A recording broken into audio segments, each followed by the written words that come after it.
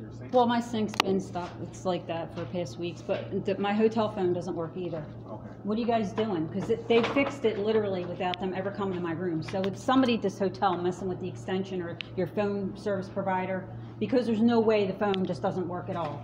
And they keep messing with it. Twelve-one, they fixed it, then twelve-four, they did it, and then this morning it worked, and then they did it again. So they're messing with it.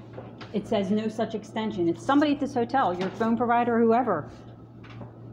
You told Marjorie about it? so she- I, I, so she, n- you guys have known. Christian knew, Felicia knew. I told, like I said, I told you guys, 12-1, 12-4, you guys ignored, ignored it. And then it, you know, I haven't had a phone and I paid for that and I'm deducting it from what I paid. So the, the sink stopped up. I mean, I had it. Like, I, I'm like sick of this. This isn't even funny. The sink stopped up. I try, I try not to use it that much. Um, she plunged it, so that's why it's like that. But I try not to